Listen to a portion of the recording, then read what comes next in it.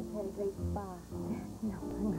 Guess what? Actually, At the island Captain Oakley's there. Did you skip that? That a year ago. That was his brother. His name is Joe, but Mom calls him a little souvenir.